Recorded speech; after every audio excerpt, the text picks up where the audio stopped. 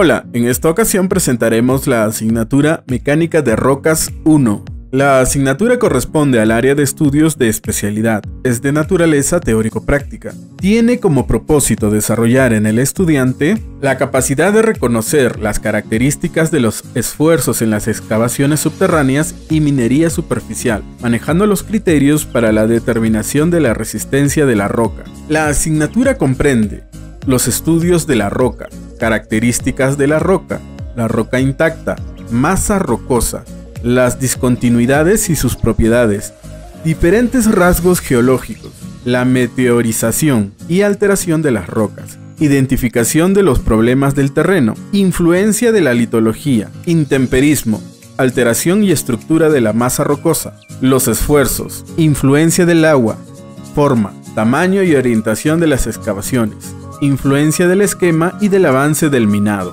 Al finalizar la asignatura, el estudiante será capaz de evaluar las características de los esfuerzos en las excavaciones mineras subterráneas y superficiales, a través del análisis de las propiedades de las discontinuidades, manejando los criterios para la determinación de la resistencia del macizo rocoso. Te damos la bienvenida a esta asignatura, esperamos colmar tus expectativas y ten por seguro que te ayudaremos a resolver tus dudas e inquietudes.